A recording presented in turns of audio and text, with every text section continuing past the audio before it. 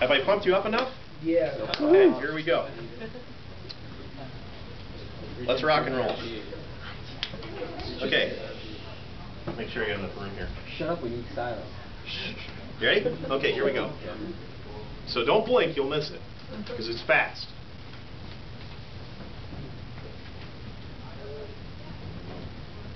Now, I want to point something out to you. Oh, I love that. I want to point something out to you. Let's go back to what we talked about originally in the beginning. Okay, you have to bear in mind that uh, you know when I do this, this doesn't have anything. To, I've had a lot of training, but my training has basically been in the mechanics of how I move my body. That's really all it's been. It doesn't have to do with you know the kind of wheat germ I eat or the kind of meditation I do or anything like that. You know, none of this mystical stuff. And it's everything that we're talking about here with impulse and momentum. And at the end of the day, you know, when I do this, it comes down to nothing more than good old-fashioned physics!